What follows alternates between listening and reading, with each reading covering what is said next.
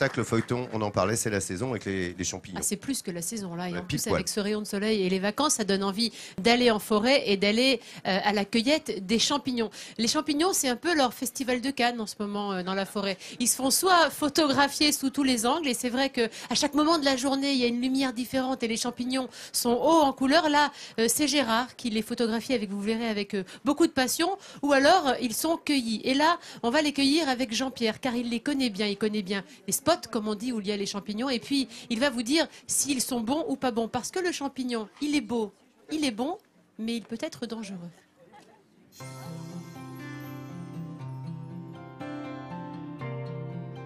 Autour de Bagnoles de l'Orne, la forêt d'Andenne s'étend sur plus de 4000 hectares. Ici, la faune et la flore vivent en parfaite harmonie. À l'automne, le bois est un véritable supermarché de champignons. Cela attire de nombreux amateurs qui viennent ici pour tenter de remplir leur panier. Mais il vaut mieux partir avec un connaisseur.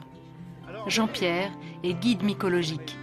Il organise régulièrement des balades dans cette forêt pour partager son savoir avec des amateurs. Aujourd'hui, nous sommes en quête de champignons, mais n'ignorons pas que depuis trois ou quatre semaines, il n'a pas plu. Et même si les conditions ne sont pas idéales pour notre petit groupe, ils espèrent bien dénicher quelques trésors cachés dans les sous-bois.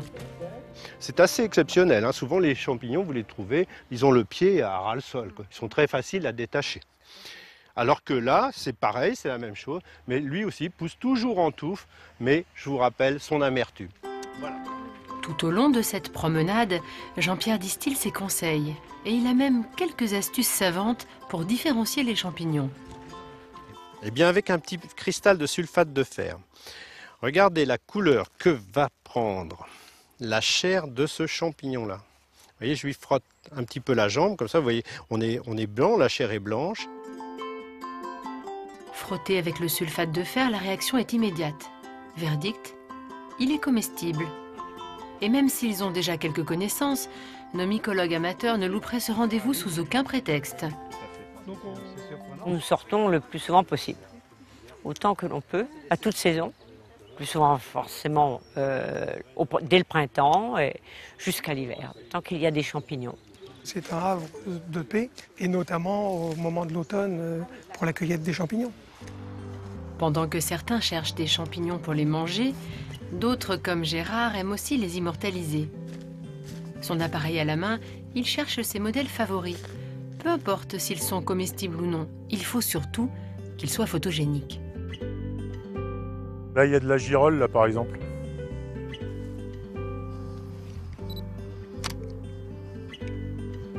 Même si cela fait de nombreuses années que Gérard s'intéresse aux champignons, il continue à apprendre et fait régulièrement de nouvelles découvertes. Depuis 20 ans, je fais des photos de champignons tous les ans. Ce sont jamais les mêmes, ce sont jamais les mêmes conditions, les mêmes euh, lumières. Et, euh, et tous les ans, je découvre des champignons que j'ai jamais photographiés, que j'ai jamais vus. Comme ça a été le cas euh, cet été, euh, parce qu'il y a eu un été un peu particulier, euh, très pluvieux. Donc qui dit pluvieux dit plutôt euh, favorable aux champignons.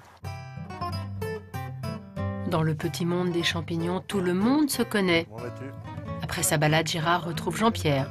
Il n'est pas rare que ces deux-là comparent leurs cueillettes et échangent leurs connaissances. En fin de journée, tous nos amateurs de champignons se retrouvent à la chapelle d'Andenne, dans la pharmacie de François, pour faire examiner leurs cueillettes. Très joli. Bon, un peu vieux, un peu avancé. hein. Faut- Pas sûr qu'il y ait grand chose à manger dessus. Des girolles. Les. En automne, les clients ne viennent pas seulement chercher des médicaments, mais également des conseils. En voici quelques-uns. En règle générale, ce qu'il faut, c'est se limiter à peu de champignons, surtout quand on ne connaît pas les champignons. Et puis ceux qu'on ne connaît pas, les amener à quelqu'un qui connaît, c'est-à-dire la plupart du temps des pharmaciens ou un groupe de mycologie. Grâce à ces renseignements, vous pourrez aller cueillir des champignons en toute tranquillité. Cette forêt d'Andenne recèle décidément de nombreux trésors. Mais pour que cela perdure, il faut faire attention à préserver cet équilibre fragile. Les beautés que nous offre la nature sont sans égal. C'est vrai que ça donne envie juste de mettre ses bottes en caoutchouc et d'aller dans la forêt et de découvrir ces champignons.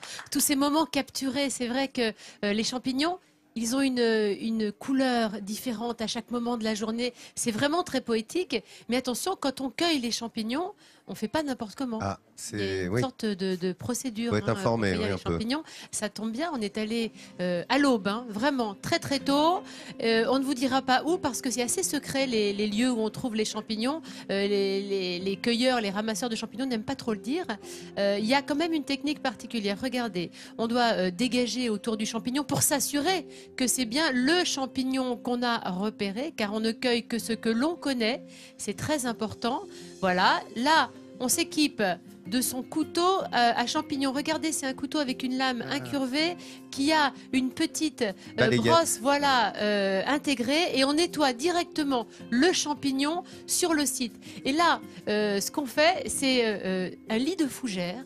Pourquoi Non pas pour faire beau, même si c'est super joli, pour protéger tout simplement euh, sa cueillette, pour protéger tous les champignons. Comme ça, on peut déambuler, partir au soleil levant, dans la nature et penser à toutes les légendes Poétique. euh, arthuriennes. Ah oui, arthuriennes c'est ça. qu'il y a ici. On va près du lac. On va, on va Exactement. croiser Lancelot du lac. Peut-être, avec un Hein petit peu de chance, on peut croiser Lancelot du Lac. Ah, moi, Donc j'ai ça, croisé Petit Jean, regarde, qui, qui revient des champignons.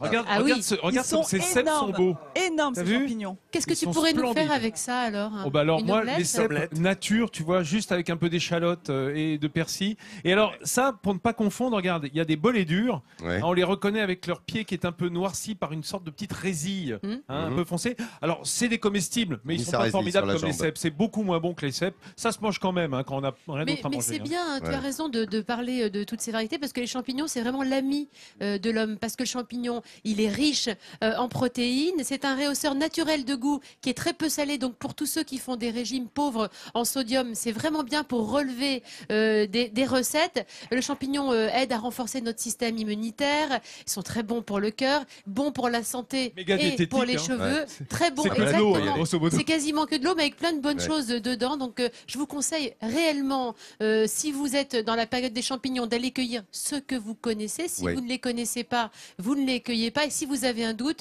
direction le pharmacien. hein. Eh ouais. Hein, ça le vraiment. pharmacien qui peut Je, informer. hein. je vous dis de faire, faire attention parce qu'il y en a Le beaucoup. euh, Vaut mieux des clubs de mycologie, mais le, le Éventuellement. si vous avez Jean-Pierre, si vous avez Bah, Jean-Pierre dans temps, votre euh, euh, dans, dans votre sac à main, et Jean-Pierre, j'aimerais qu'on lui fasse un petit coucou parce qu'il est venu. Voilà, il est avec sa petite fille, il est à côté. Et si vous avez Jean-Pierre avec vous, vous l'emmenez en, en balade en forêt et il vous aidera à accueillir ces très très beaux champignons.